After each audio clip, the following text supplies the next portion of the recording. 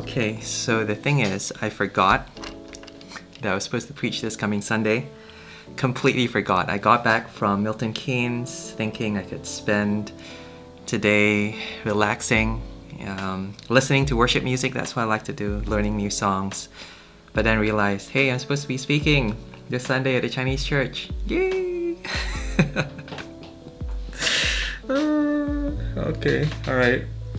Okay, so uh, what I'm going to do today for the Daily Bible Reading Show is I'm going to re- read the passage I'm going to be preaching this coming Sunday. This is 2 Corinthians chapter 1 from verse 12 onwards. Let me pray. Uh, Heavenly Father, despite my forgetfulness, please help me to learn from this passage. Help me to teach it clearly. I pray this in Jesus' name. Amen. So this is 2 Corinthians chapter 1 from verse 12 onwards. And Paul says, For our boast is this, the testimony of our conscience, that we behaved in the world with simplicity and godly sincerity, not by earthly wisdom, but by the grace of God, and supremely so toward you. For we are not writing to you anything other than what you read and acknowledge, and I hope you will fully acknowledge, just as you did partially acknowledge us, that on the day of our Lord Jesus, you will boast of us as we will boast of you.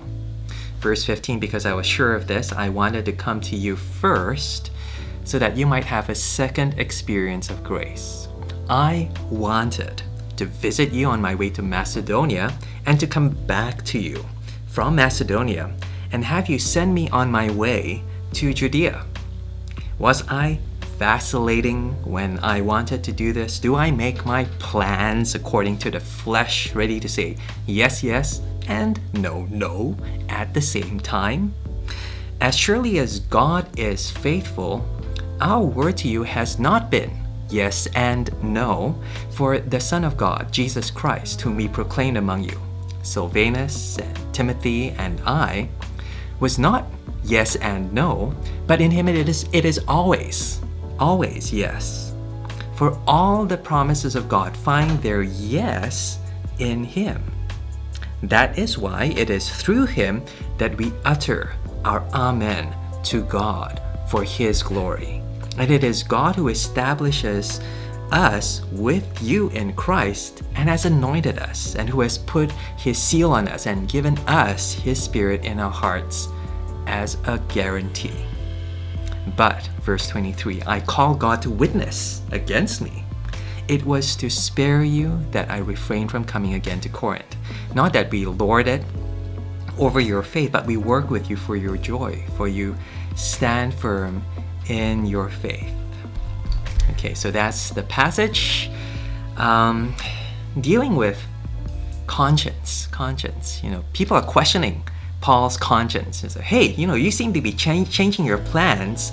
Are you sure you have a pure conscience? Because Paul has this travel plan. He says, I'm supposed to visit you, but apparently he didn't turn up. So they're kind of saying, you know, hey, if you we can't trust you in terms of your travel plans, how can we trust you in terms of the gospel? You know, how sure are you that the gospel you preach is true? But I think more so, how can we trust you that you really love us, that you have your our best interests in your heart? So they're questioning his motivation, his conscience, whether he has this conflict going on inside of him that's resulting in this conflict in his travel plans. Um, you know, I read this and I question my own conscience. You know, am I doing what I'm doing? You know, podcasts, you know, YouTube. You know, is, is this is this pure? Is this is, is, is this even, even worthwhile? Am I wasting my time? I was actually saying this to a friend just before this. You know, we were talking about this guy named Krish Kandiah. And Krish Kandiah on Twitter, he says, you know, I can't sleep last night. so here are the problems I'm trying to fix. And he's evacuating refugees and that's what he's doing. He's trying to house 100 people. He's trying to find long term houses for families, his refugees from Afghanistan. And you know, that's what he's dealing with. That's ministry for him. And you know, I'm, I'm doing this. you know, that's, that's what you call helping people. Or I think of, you know, in my country, Malaysia, there's this person I admire so much, you know, Heidy Quah. You know, one day, you know, she's in court facing charges for helping people. And another day, she's helping people, feeding 300 hungry families who are also refugees. And I think again, you know, that's ministry, that's serving people, that's helping people. You know, this seems so comfortable. What am I'm doing now, you know, am I wasting my time? You know, and already I find it so difficult. You know, maybe, maybe it's because my conscience, my motivation isn't pure. I don't have an answer to it, but I'm still struggling with that, by the way. Yeah. But let's look at Paul. Paul is not unclear. You know, he starts out by saying, "I boast of this, the testimony of the conscience." Paul is so sure that his conscience in making a plan and also changing that plan, it's always yes in Jesus Christ. Because, you know, he says, you know, we behaved in the world with simplicity. It's not hard to work out why he's doing what he's doing. He loves God and with godly sincerity, not with earthly wisdom, but by the grace of God. It's not as if I'm so smart to do this, but I'm constantly relying on God's grace and then he says, supremely so towards you. He's not talking about you know, feeding how many hundred people or that movement out there. And he is, by the way, trying to raise up money to feed the hungry. You know, that's, that's what he's doing. But he's saying, even in the way that I'm dealing with you, he says there, supremely so towards you. Especially so in the way in which you've seen how I've ministered to you, I've spoken the gospel to you, I've loved you.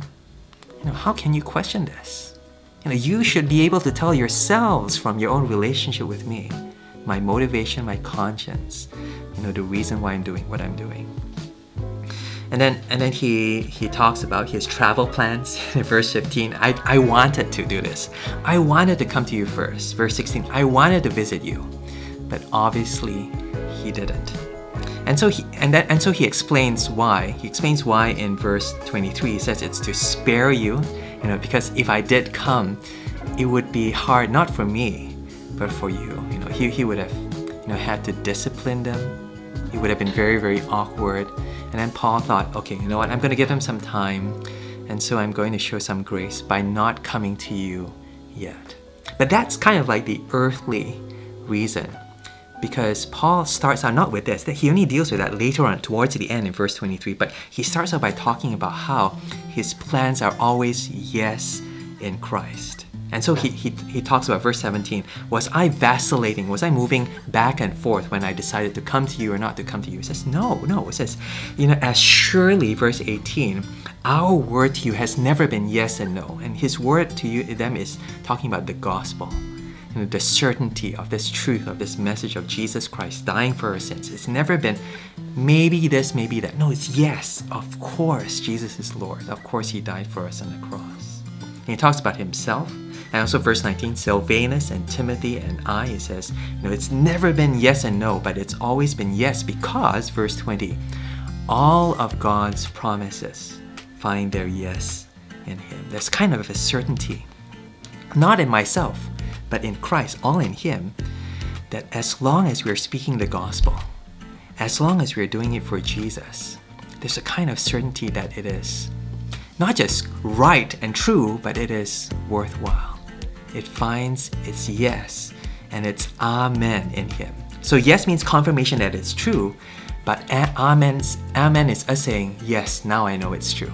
Now I know for certain that God wants me to trust in His truth, and to live out this truth. That's why he says, it is through him that we utter our amen to God for his glory. I'm not sure whether in your church you do this. Probably here not, you, you don't do this. Whereby the pastor says something that is true. Jesus Christ is Lord. He's so good. He died for us on the cross. And then something new goes out and says, Amen.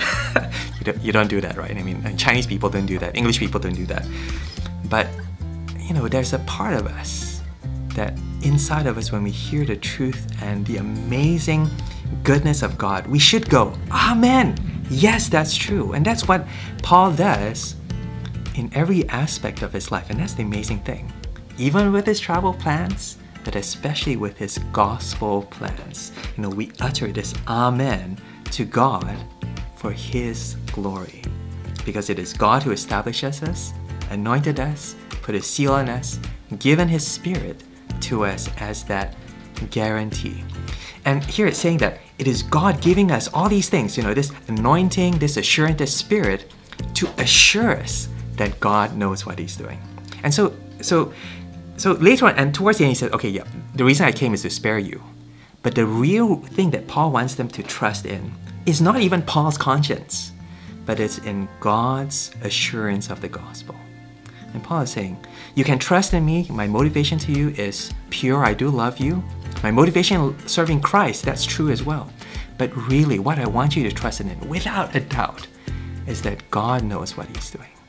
That God has given all of us this, this Spirit of His that tells us and confirms to us the truthfulness of His nature, the truthfulness of the gospel, and the certainty of Jesus as our Lord. And so, if you have to trust in one thing, trust in that. Trust in that. Just want to uh, look at the last verse, last verse, verse 24. He says, Not that we lord it over your faith, but we work with you for your joy. And so here it's talking about how, you know, some of us will still struggle with that motivation. And he says, you know, I could have two approaches. I could lord it over your faith. I'm your pastor. I know the truth. I know better, and you better listen to me. Not, we're not going to do that. We're not going to lord it over your faith. But we're going to come alongside you. I'm going to work alongside with you. Why? For your joy. We want you to love serving Jesus. We want you to love giving all your decisions and your motivations and all your plans over to Him, such that you know, in the end of it, you will just say, it's worth it. It's worth it.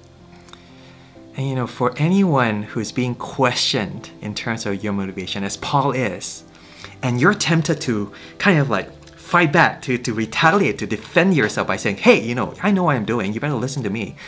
Paul, he doesn't he doesn't do that. He doesn't do that. He says, you know, we could, but we don't want to do that. We we want to understand where you're coming from. And we want you to have that same kind of like joy in serving God that we have. And so we're going to come alongside you wherever you are and trying to work with you, build you up, encourage you, and to help you to see how to find this amen and this truthfulness and this certainty in Christ. Yeah, and so, yeah, so that Second Corinthians chapter 1. Um, now I just have to write out the sermon. but just to say again, you know, I, I, I struggle in terms of my motivations and you know, especially whether what I'm doing in terms of all these like podcasting and stuff, is it just like this easy easy thing to do? Is that why I'm doing it? Or is it really for Christ? Am I willing to change my plans so that it will serve Him better and love people better? Is that what I'm willing to do as Paul is? Or, you know, do I have to do some hard searching of my heart? and a hard kind of evaluation of my own motivations and to just look to Christ again and find there that amen and that yes in Him. I struggle with that as well.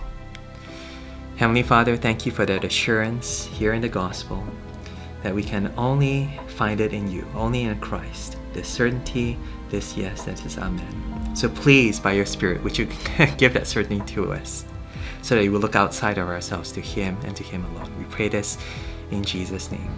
Amen. Amen. Sorry, long one today. Take care and God bless. Bye.